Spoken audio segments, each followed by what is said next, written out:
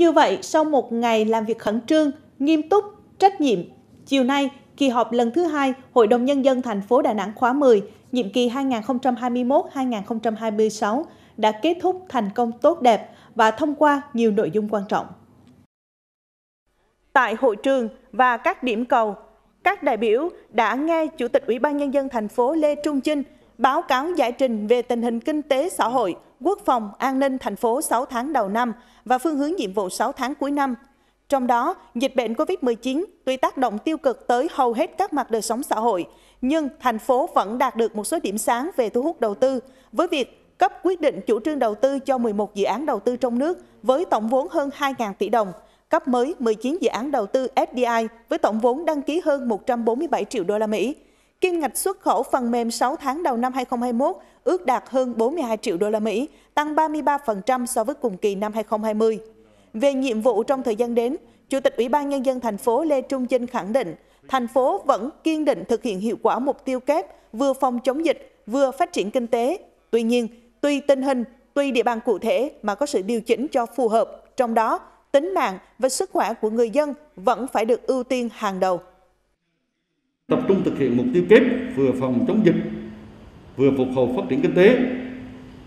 và nhưng mà căn cứ vào cái tình hình thực tế và địa bàn cụ thể để lựa chọn ưu tiên và trên tinh thần là đảm bảo sức khỏe và tính mạng của người dân trên hết và trước hết đảm bảo về an sinh xã hội dù chúng ta phát triển kinh tế phòng chống dịch nhưng mà về sức khỏe của người dân thì phải được đưa lên trên và đi trước hết trong tất cả những cái chính sách. Cũng theo Chủ tịch Ủy ban Nhân dân thành phố, Đà Nẵng sẽ tiếp tục tích cực phối hợp với các bộ ngành trung ương để triển khai hiệu quả nghị quyết 119 của Quốc hội về thí điểm mô hình chính quyền đô thị và một số cơ chế chính sách đặc thù phát triển thành phố Đà Nẵng, triển khai đồ án điều chỉnh quy hoạch chung thành phố Đà Nẵng đến năm 2030, tầm nhìn đến năm 2045 đã được Thủ tướng Chính phủ phê duyệt, tháo gỡ các vướng mắc cho nhà đầu tư, triển khai kế hoạch đầu tư công trung hạn 2021-2025, khơi thông các nguồn lực phát triển thành phố.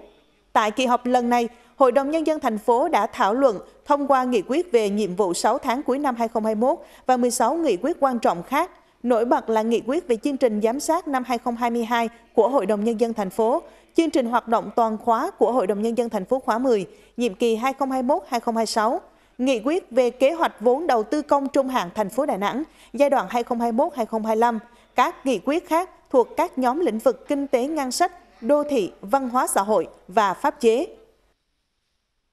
Phát biểu bế mạc kỳ họp, Chủ tịch Hội đồng Nhân dân thành phố Lương Nguyễn Minh Triết khẳng định, trên cơ sở thảo luận, xem xét toàn diện, kỹ lưỡng các báo cáo, tờ trình, Hội đồng Nhân dân thành phố đã thông qua các nghị quyết và nhiều vấn đề quan trọng tại kỳ họp với tỷ lệ thống nhất cao, thể hiện tinh thần trách nhiệm trong việc thực hiện chủ trương, nghị quyết của thành ủy. Đồng thời nhấn mạnh để thành phố vượt qua những khó khăn thách thức, nhất là trong cuộc chiến dịch chống Covid-19 đang diễn ra rất phức tạp. Hiện nay, Cần nhất là sự vào cuộc quyết liệt, đồng lòng của cả hệ thống chính trị và người dân, doanh nghiệp tại thành phố.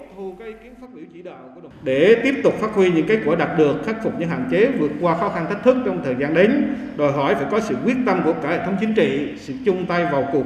chia sẻ thông cảm đồng thuận của người dân và doanh nghiệp. Trên tinh thần đó, Hội đồng nhân dân thành phố đề nghị mỗi cán bộ công chức, người lao động trên từng cương vị công tác của mình luôn nêu cao ý thức trách nhiệm, thể hiện rõ tâm huyết, thể hiện được chất lượng qua công việc hàng ngày. Xin được gửi gắm thêm một điều, trong tình hình dịch bệnh ngày càng phức tạp hiện nay, biện pháp hiệu quả nhất, vaccine hiệu quả nhất để chống dịch chính là ý thức của mỗi người dân. Mỗi người phải tự giác, nhắc nhau nghiêm túc thực hiện 5K, thấu hiểu, chia sẻ và đồng thuận, đồng lòng cùng thành phố chống dịch, tạo nên khối đoàn kết thống nhất, tạo nên lá chắn vững chắc để ngăn chặn sự lây lan của dịch bệnh được như thế chắc chắn chúng ta sẽ sớm vượt qua thử thách khốc liệt này. Chủ tịch Hội đồng Nhân dân thành phố Lương Nguyễn Minh Triết yêu cầu thời gian đến, các ban ngành, cơ quan đơn vị liên quan cần chú trọng vào những nội dung quan trọng về rút ngắn thời gian, thủ tục và ứng phó kịp thời với công tác phòng chống dịch, thực hiện tốt hai nhiệm vụ song song, đồng hành là đảm bảo sinh mệnh và sinh kế cho người dân, quyết tâm thực hiện tốt các kịch bản, giải pháp điều hành phát triển kinh tế xã hội trong 6 tháng cuối năm 2021, đảm bảo tiến độ cho các nhiệm vụ, dự án, đề án mang tính nền tảng, động lực của thành phố, tập trung xử lý các nội dung còn tồn động theo nghị quyết của Hội đồng Nhân dân thành phố, các kết luận của Thường trực Hội đồng Nhân dân thành phố nhiệm kỳ qua và các vấn đề bức xúc, nổi cộm mà cử tri quan tâm kiến nghị kéo dài thời gian qua.